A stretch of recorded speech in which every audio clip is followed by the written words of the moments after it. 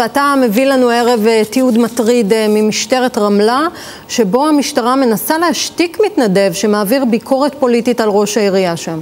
אנחנו מקבלים תלונה מתושב רמלה, כאשר פוסטים שהוא מעלה לעמוד הפייסבוק שלו במשטרה, כאשר הוא בסך הכל מתנדב שם, כן, לא מקבל שכר, הם מבקשים ממנו להוריד את זה. על כל הסיפור הבאמת מוזר הזה, בכתבה שהכנו.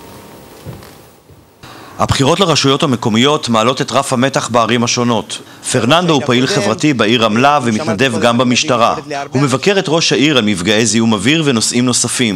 הוא לא האמין כשקיבל את השיחה הזו משוטרת שאחראית על המתנדבים בתחנת רמלה. זה רלוונטי שאתה רושם דברים בפייסבוק. מה אני רושם? נגד ראש העיר? נגד מה? משהו על ההצתות של הרכבים? פרסמתי מה שאנשים עשו, בוודאי. זה מופיע לא, בזה. למחוק?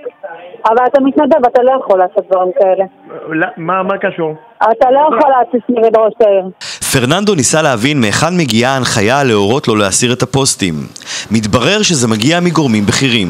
קצין אג"ם אה, דורש שתפסיק עם זה, אז כרגע לא לה- להוריד את הפוסט הזה ולא לעשות, אה, לשתף דברים נגד ראש העיר.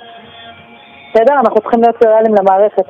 השוטרת שהיא גם רכזת המתנדבים בתחנת המשטרה, הסבירה לפרננדו היכן הבעייתיות בפוסטים שלו מבחינתם. ברגע שאתה מייצג את המערכת, זה הרבה יותר חשוב מאשר להיות אזרח. אתה לא יכול לייצג את המערכת ולפעול נגדה.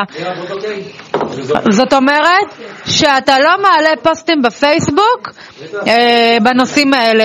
פרננדו לא נעתר לבקשתה, ואז קיבל שיחה נוספת. במידה ואתה לא מסכים עם זה, ואני אומרת שוב, זה משהו שהגיע מהפיקוד למעלה, אני אזמן אותך לקצין אג"ם, תשב איתו, תראה מה הוא אומר, תראה מה אתם, אה, שתיכם, אה, לאיזה הסכמות אתם מגיעים. מתאים? בבקשה, לא מתאים. אז אין ברירה, צריך לפעול לפי נוהל. אבל אם זה פוגע במערכת, זה כבר לא בידיים שלי ולא בשליטתי. באתי תמיד בביקורת לעובדי ציבור, באתי בביקורת לראש הממשלה, ואף פעם לא העירו לי ולא היה בעיות. הדברים שאומרת השוטרת למתנדב מטרידים ומעוררים שאלות רבות.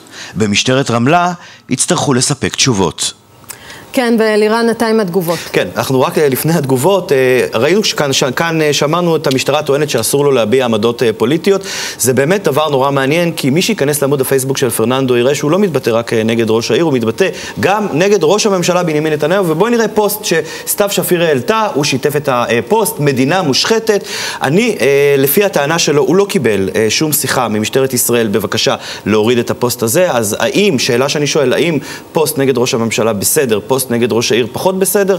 זו שאלה שצריכה להישאל, ומשטרת ישראל מוסרת לנו בתגובה, ללא כל קשר לאירוע זה או אחר, פעילותו של המתנדב הוקפאה בשל סירובו להגיע לשיחה עם מפקדו בתחנת המשטרה, שעניינה חידוד נהלי התנדבות במשטרת ישראל.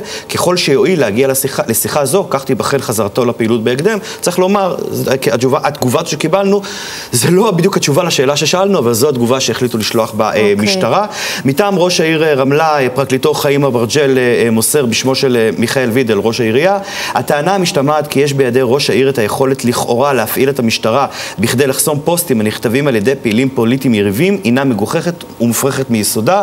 מובהר בזאת כי ראש העירייה אינו מכיר ולא שוחח עם אותה שוטרת, ובכלל זה עם מי מקציני המשטרה שבנידון. תודה רבה, אלירן. תודה.